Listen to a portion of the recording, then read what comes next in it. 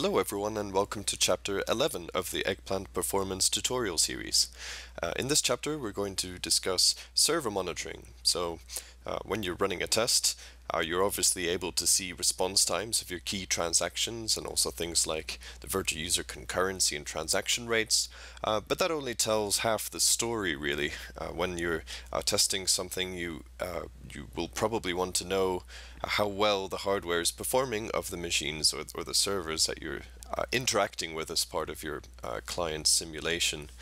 And so we have some built-in uh, methods of monitoring uh, that you'll see in this table here. So we have support for various different operating systems. At the very top there we have Windows.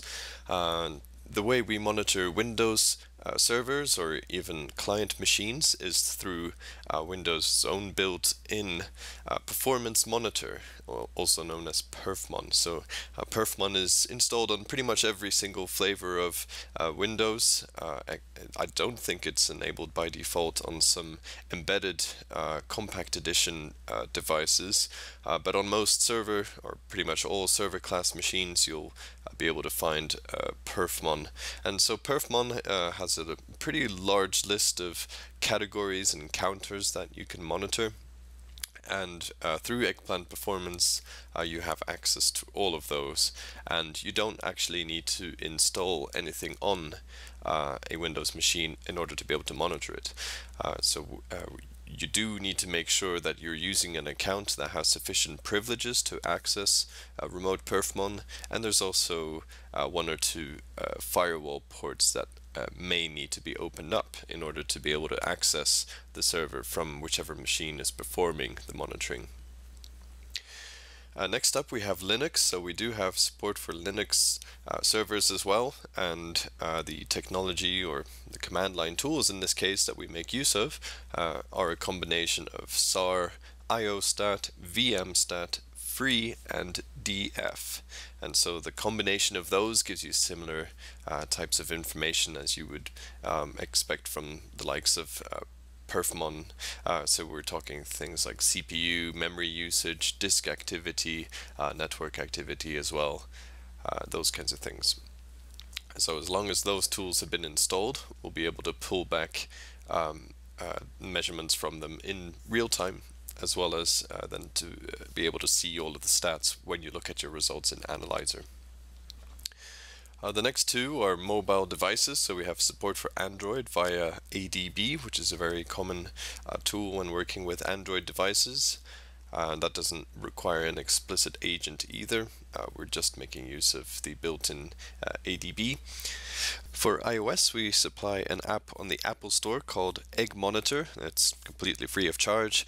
Uh, it's only there because Apple have uh, restrictions in place that mean you can't just uh, monitor an, an iOS device without it going through an app. So that's why it's there. And finally, we have the cross-platform uh, Java Management Extensions capability. So uh, JMX is an interface uh, to the Java virtual machine uh, that is uh, running a, a, given application. So for example, uh, you'd be able to hook into the JVM running WebLogic in order to query its usage. All right, let's have a look at the process for creating and using a monitoring target then.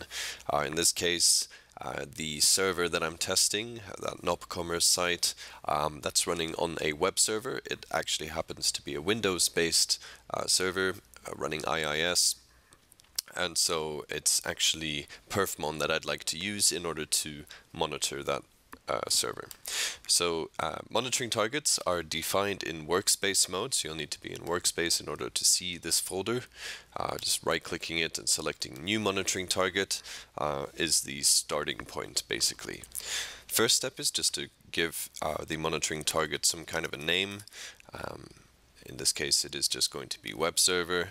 Uh, it's running on Windows, so I select that there.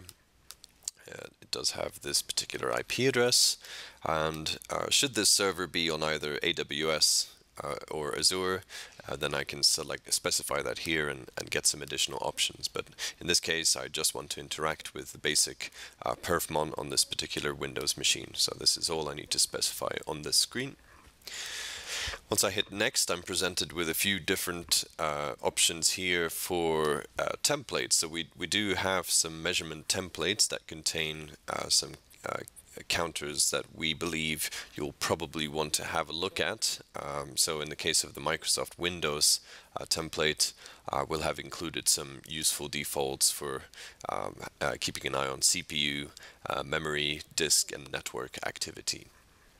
The server is uh, happens to be running IIS as well, and I think also ASP.NET, so I'm just going to activate those uh, templates as well.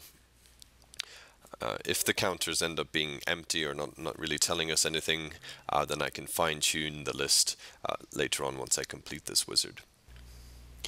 On this next screen I can determine amongst other things the poll interval, so that's how frequently we'll be collecting measurements from the target server.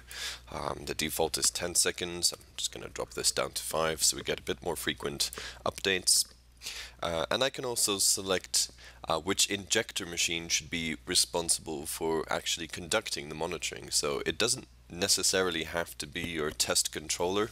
Uh, it can be any injectors that you've uh, defined. In my case, I still just have the uh, the uh, built-in localhost injector here. Now that's useful in situations where the controller machine might not necessarily have direct access to uh, the server you're trying to monitor and perhaps you have an injector that's in a DMZ zone or something like that uh, that does have access. As part of connecting to perfmon, you do need to specify a, an account that has sufficient privileges to query remote perfmon. And so that account is just a standard Windows account on that machine or, or even a domain account. Um, um, regardless, the account just needs to either be a member of the administrators group uh, or the performance log users group, I believe it's called. It's one of the built-in uh, groups available on Windows. So I'll just fill in that information now. Okay, there we go. And now we'll actually uh, pull this web server now, and um, should this complete, then it uh, pretty much means everything is set up and good to go. Uh, you'll get a list of uh, the categories and counters back that you've uh, requested or that were in the templates, and uh, assuming the check passes, then you should be able to monitor that server when you're actually running your test as well. Alright, the check is complete and we now have a bunch of categories displayed here with a with a tick next to them. Those are ones you don't uh, need to do anything with. Uh, however, in order to proceed, uh, you do have to sort out the network interface here, which actually has a few different instances available. And so we, we can't really predict which one of these you'll actually want to uh, monitor so there's just a step here to select those now so I think those two are the ones of interest and so that's all I need and I can just click next and finish the wizard so that creates another node here underneath the web server that's just been defined and these are the, all the counters available as part of the templates that were chosen. Now that was uh, part one, uh, so this just defines the monitoring target, but it doesn't mean that all of your tests uh, will suddenly uh, be monitoring the server. Uh, that's the second part of the process. So in your uh, test, when you have a test selected, you'll see a monitoring tab. once you click that, you'll now see an entry for all of the monitoring targets you've got defined. And you just need to enable the monitor for, for whichever monitoring target you'd like to monitor uh, make sure to save as well. And at this point, test controllers should have updated, and you'll see a folder here with all of the system under test metrics that are being collected now. Uh, and so they appear as these uh, panes that or windows that you can just um, open or put onto the dashboard display. Um, pretty much the same as any other uh, of the uh, available panes here. So I'll just start the test, and we should see some uh, some of the system under test metrics coming through.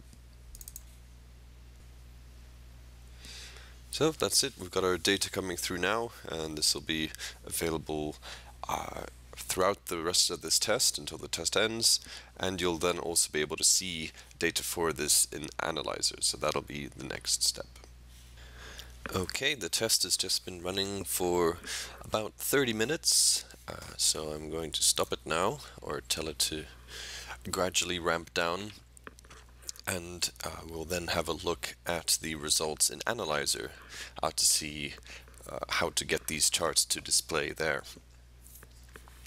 Okay, there's a signal that the test is completed. If we now go into Analyzer and uh, open the test run browser, which is accessed from this button up here, uh, you'll be able to locate the test run that you've just completed. Uh, in this case, it's this basic test number 18. Uh, there's a little checkbox in the bottom right, uh, which is going to ensure that we create chart templates for each of the uh, system under test measurements that were in this test. So you'll see them uh, here on the left-hand side already. I've already been through this process. Um, um, so I already have chart templates for each of the perfmon counters that I'm interested in, in generating charts from. So in order to be able to generate a chart, uh, there needs to be, or you know, it's uh, preferred that there is some kind of chart template that you would use. Uh, so we'll automatically create that as part of this test import. Okay, there's our test imported. Uh, now the next step is to uh, create an analysis view uh, that allows us to uh, determine whether or not we want to look at the entire test run or if we want to exclude the ramp up for example. In this case I want to uh, just look at everything that was captured as part of this test, so I don't need to make any changes here. And this is where I then select what kinds of uh, data I want to generate from this test run. So we have some built-in um, uh, analysis views um, that's going to create uh, transaction errors and warnings uh, charts and, and, summary tables. Uh, that's the default one. Default web adds this a web folder down here that has the HTTP request level data included as well, which might not uh, be relevant uh, depending on which type of test you're running. In my case, I'm running a web test, so I would probably want this one. Uh, but what I've actually done is created my own uh, analysis template, which then also includes the system under test metrics. So I still have the transactions, uh, the web folder, uh, but I've added all of these in here, and, and these are all the different chart templates, one for each of the system under te test metrics that was captured as part of this test. so you can create your own analysis view templates just by going, you know, right-clicking on the analysis templates folder uh, and, and recreating something like this. Uh, so this will give me quite a lot of data to look at uh, when the uh, analysis view has been created. Okay, the view's been created and we can see it up here. So if I expand these folders, uh, you can see all of the uh, charts that have been created, or in this case with the summaries, uh, we're actually just displaying a table. So here's our table of different transactions, their average response times, minimum, maximum, and uh, below here all the system under test metrics. Let's see if we can put some of these together. There's the ability to link charts. Uh, we'll go into more depth on Analyzer in a subsequent tutorial chapter, but for now I'm just going to uh, put some of these onto the same display. There we go, so we've got our response times up here, um, memory usage in the middle, and CPU usage at the bottom. That pretty much sums up this chapter on server monitoring. Uh, keep an eye out on future chapters that'll cover Analyzer in greater detail. Uh, but I will point out that the next chapter will actually be about objectives, uh, which is completely new functionality that was added in the recently released version 7.2. Thanks for watching.